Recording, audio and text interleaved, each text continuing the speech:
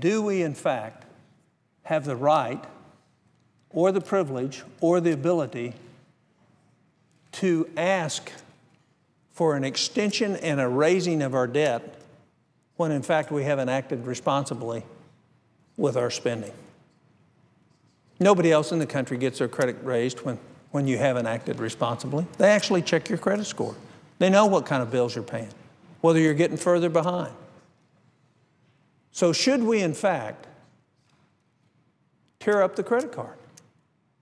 Should we force some good old adult supervision on Congress?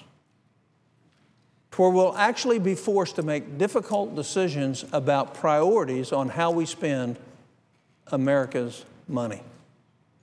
And when I mean America's money, I mean people out there working hard every day. They may not be the highest taxpayer, but it is unconscionable to me that when we spend their money, that we're wasting 15 to 20 percent of it all the time. So I think we ought to tear it up. The way we tear it up is we just tear it apart. We tear the credit card up. We shred the credit card and we say, you're going to live within your means. You're going to start making the hard choices. You are addicted to spending. You're addicted to not being responsible with the dollars you have. Congress needs to be in a 12 step program, and it should start with us. I thank my